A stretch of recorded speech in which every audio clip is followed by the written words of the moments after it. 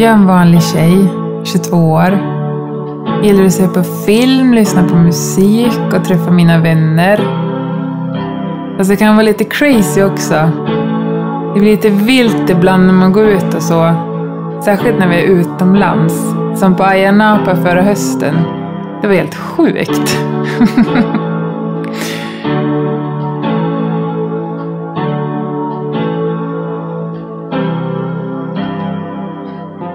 Jag gillar att shoppa. Det är kanske en slags flykt av något slag. Ett sätt att komma undan stress. Jag kan gå i flera timmar. Titta, prova och sådär. Jag tycker om att klä mig snyggt. Det skäms jag inte för. Det.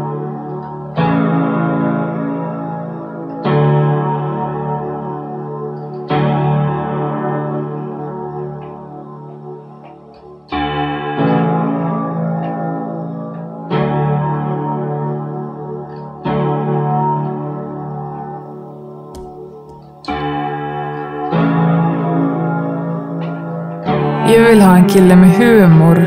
Någon som får mig att skratta. Det är viktigt. Man ska kunna skratta ihop.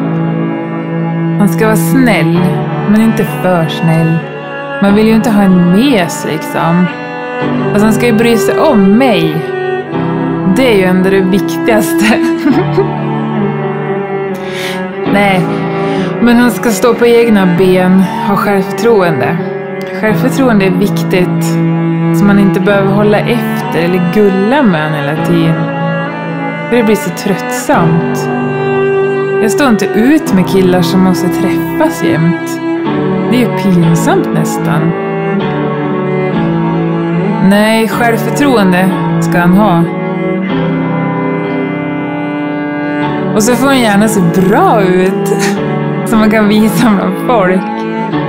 Inte klä sig som en luffare eller sådär.